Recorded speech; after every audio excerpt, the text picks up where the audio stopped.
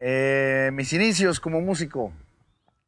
Bueno, yo este, desde muy chiquillo tendría yo como unos 14 años, 14, 15 años. Antes de eso, mi, mi papá fue el culpable de, de, que me gustara la música. A él le gusta mucho y él fue el que me enseñó a, a tocar guitarra. Pero ya como eso de los 15, entré a un coro de la iglesia en San Nicolás. Y pues siempre me gustó este, las guitarras acústicas, todo este rollo. Mm, las eléctricas luego, luego empecé a agarrarlas porque pues tú sabes el, el que, a qué chavo no le gusta rock and rollear, ¿no? Pero básicamente fue empezar a, este, a tocar música de tríos. Mi primer instrumento eh, un, era un requinto que mi papá le había regalado a mi mamá.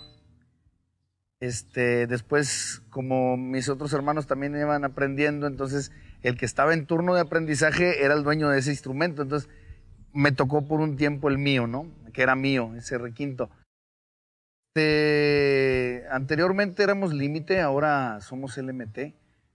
Es un concepto, pues yo, yo lo defino como una renovación o una actualización de lo que habíamos hecho. Siempre hemos hecho este tipo de música, es, es música grupera, música este, cumbia norteña muy de, muy de, de Monterrey. Es una cumbia muy, ¿cómo te explico? Es como que romanticona, este, sin caer al, asunto de, lo regional, ¿no? Siempre hemos hecho esto, pero ahorita traemos una novedad en la cuestión de nuestros nuevos discos, en este, sobre todo en este nuevo disco que se llama Así Somos.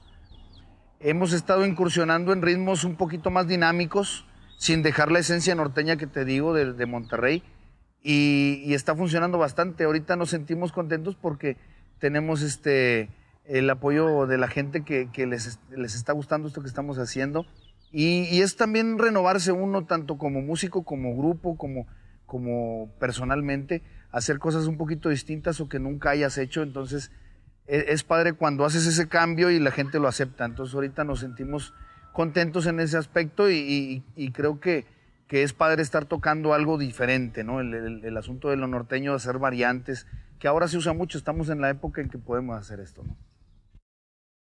Uno escucha la marca Yamaha y es una, una marca pues reconocida mundialmente, pero hasta que empiezas a, a, a, usar los instrumentos, en mi caso las guitarras, el, día que la toqué dije, híjole, ya de aquí soy, y hasta la fecha, después de, de más de 11 años, sigo siendo Yamaha y cada guitarra que veo, y, debo decir, es una, es una marca que desde la, la más económica o la más al alcance de todos, tiene una calidad bastante, bastante buena y, y hablar de Yamaha en cuestión de guitarras, pues es, este, hoy por hoy la marca líder. Y en mi caso, usar Yamaha es un orgullo. en la cuestión de los instrumentos, pues me, gusta mucho el sonido que tienen. E, es algo como que yo estoy tan, tan, tan familiarizado con Yamaha que cuando escucho una guitarra sé que suena Yamaha.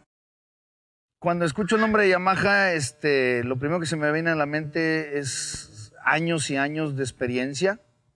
Este, es una marca que no nada más, este, uno puede pensar que solamente hace instrumentos, pero no.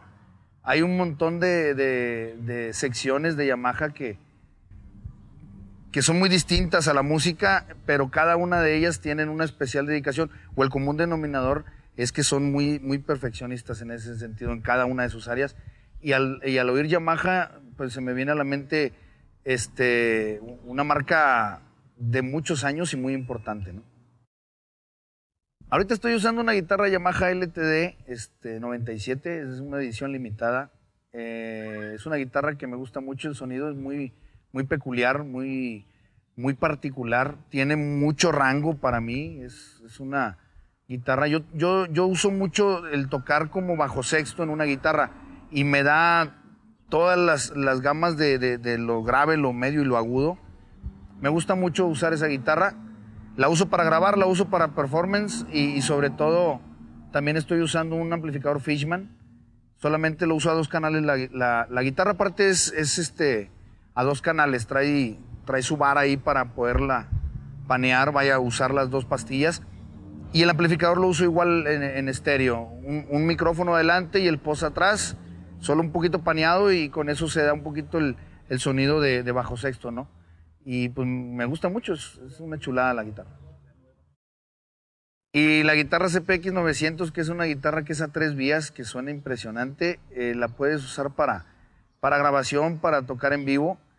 Es una guitarra que es bastante económica para lo que suena, realmente es, es este, una guitarra muy completa, eh, tiene el nuevo preamplificador, trae el amplificador ART, que, realmente se aventaron la gente de Yamaha en inventar algo así.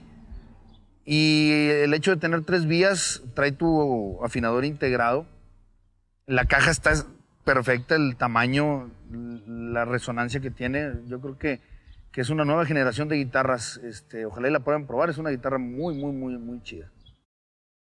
Bueno amigos, yo quiero felicitar a Yamaha de México por estos 50 años en México, desearles lo mejor, desearles que, que sean otros 50 años más y, bueno, este, Dios los bendiga, sigan haciendo las cosas como las hacen hasta hoy. Gracias.